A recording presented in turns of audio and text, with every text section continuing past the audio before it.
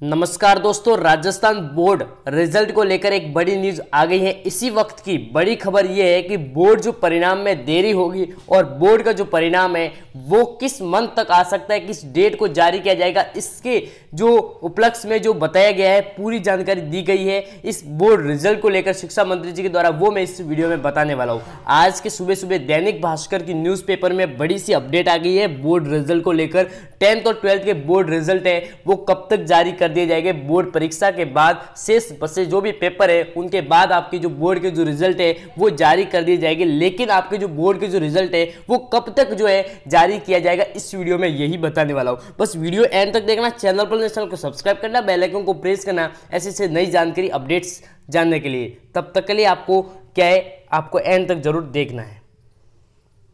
यहाँ पर आप डाउटनेट पर करिए अपने चार गवर्नमेंट एग्ज़ाम की तैयारी। राकेश यादव, आर एस अग्रवाल जैसी सारी इंपॉर्टेंट बुक्स पाइए सॉल्व वो भी वीडियो सोल्यूशन के साथ। यदि आप तैयारी के बीच किसी क्वेश्चन में फंस जाते हैं तो घबराइए मत। बस उस क्वेश्चन की फ़ोटो खींचे और अच्छी तरह से क्रॉप कर लीजिए और सबमिट कर ले। और आप देखेंगे कि कुछ ही सेकंड में डाउट ऐप पर वीडियो सोल्यूशन मिल जाएगा। ज़्यादा जानकारी के लिए डिस्क्रिप्शन चेक करें। तो याद रहे डाउट है तो डाउटनेट करो। आज ही डाउनलोड करें।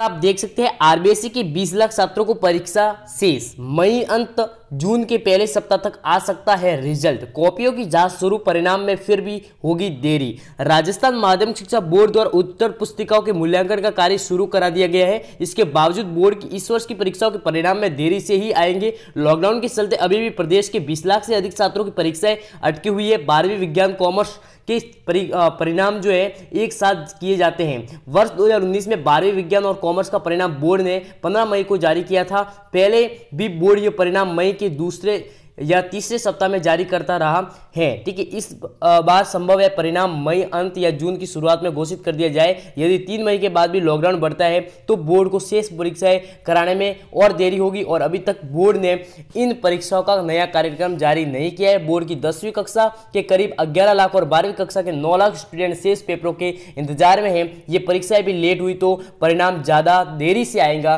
तो ये बताया गया है, परिणाम मतलब जो परीक्षा है, जब होगी, उसके बाद आपका रिज़ल्ट आएगा। जाएगा। अब परीक्षा कब होती है? लॉकडाउन बढ़ेगा आगे और तो फिर आपके जो परिणाम में भी देरी होगी और परीक्षा में भी देरी होगी। इस वक्त एक बड़ी जो खबर निकल कर आई है। आरबीसी के द्वारा ही प्रकाशित की गई है और कॉपियों की जाँच है। आपकी जो उत्तर पुस्तिका है, जिन जिन का पेपर हो गया है, उनकी जो कॉपियाँ है, उनका जो जाँच कार्य वो प्रारंभ कर दिया गया है। लेकिन परिणाम में जो है तो भी जो है, बहुत ही देरी होगी।